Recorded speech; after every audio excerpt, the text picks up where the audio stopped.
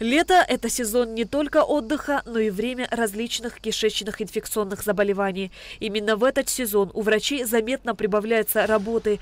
Болеют инфекциями люди разного возраста. К примеру, в Республиканской детской больнице ежедневно принимают немалое количество пациентов. В этом помощь абхазским коллегам оказывает врач ультразвуковой диагностики из города Уфы Татьяна Петрова. Более 30 лет Татьяна Аркадьевна проработала в педиатрии. В республике уже четвертый день день ведет прием. Все очень хорошо встретили, приняли. Ну а теперь мы работаем. Пациенты в основном идут здесь что? Юг, заболевания желудочно-кишечного тракта. И в основном вот смотрим органы брюшной полости.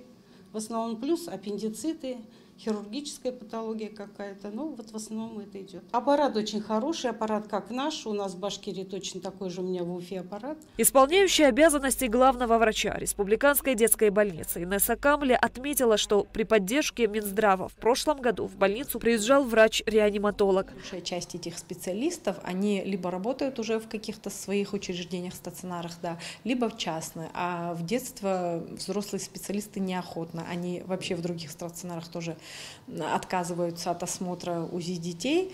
Э, и нам такой специалист, конечно, в стационаре нужен был, чтобы он был на месте, чтобы это было э, удобно посмотреть дневное время, те, которые, а э, большая часть это, конечно, ну, осматривается те, которые в отделении лежат, и круглосуточно экстренные бывают дети, которые требуют, которым требуется УЗИ-диагностика. Дальше осенью тоже планируются специалисты, мы ну, запрашивали специалиста, не только УЗИста, мы запрашивали УЗИ, УЗИ, реаниматолога-анестезиолога.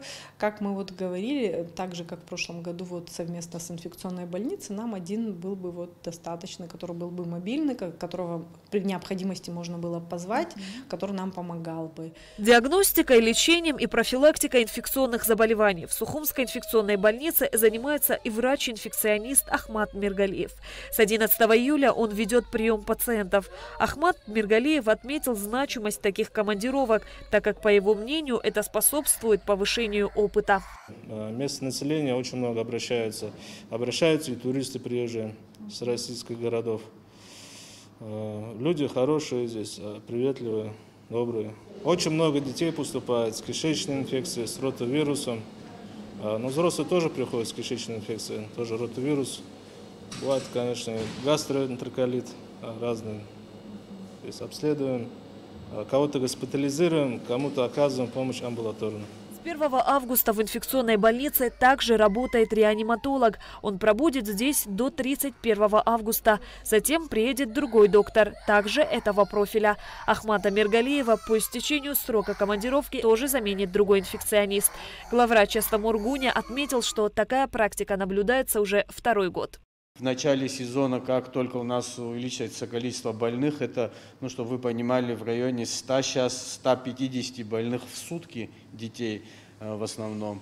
Вот. И мы уже заведомо знаем, мы даем заявку в Министерство здравоохранения, Эм, Эдуард Валерьянович непосредственно в тесной связи с Министерством здравоохранения Российской Федерации. И вот второй год, в начале сезона они нам вот таким вахтенным методом присылают докторов, ну, которые непосредственно с нами трудятся и очень большую помощь оказывают нам.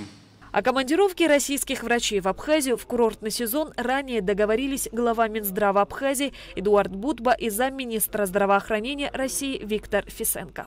Так как у нас э, в этот период июль, август, сентябрь э, ротовирусная инфекция, кишечная инфекция, вы знаете, да, определенный подъем заболеваемости присутствует из года в год, как бы он такой мы это прогнозируем, поэтому я обратился в Минздрав Российской Федерации, и сейчас приехали коллеги также из Башкортостана, приехали в Гагрскую больницу анестезиолог и реаниматолог, приехал терапевт, сейчас в скором будущем приедет хирург общей практики, потому что вот это направление, оно как бы чуть ослаблено в Гагрском районе, у нас там произошла трагедия, у нас коллега э, скончался, Волгин, вот, и мы сейчас вот э, усиливаем это направление именно хирургического профиля.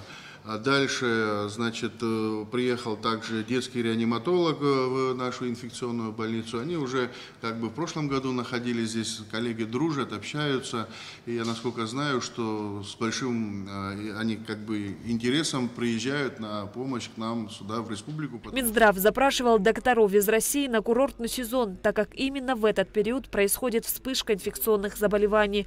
В основном все они приезжают на месяц это огромное подспорье, потому что те пиковые нагрузки, когда мы проходим нашими силами, у нас кадровый дефицит именно детских инфекционистов, вы знаете, и проблема с детскими реаниматологами, проблема с кадрами именно по ультразвуковой диагностике и вообще вот эти сложные направления, которые есть у нас в республике, мы стараемся заблаговременно с помощью Российской Федерации вот эти вопросы совместно нивелировать. Ежемесячно на протяжении полугода министерством запланировано отправлять врачей медучреждений Абхазии на повышение квалификации в российские клиники. Говорю о реаниматологах, которые проходят э, в четвертой больнице города Сочи. Также у нас э, есть договоренность с э, университетом имени Сеченова о том, что мы можем направлять наших коллег в, при помощи Минздрава России в ведущие как бы вузы. Ну, мы это делаем планомерно, потому что если сейчас определенное количество людей отправить на учебу, у нас может быть ну,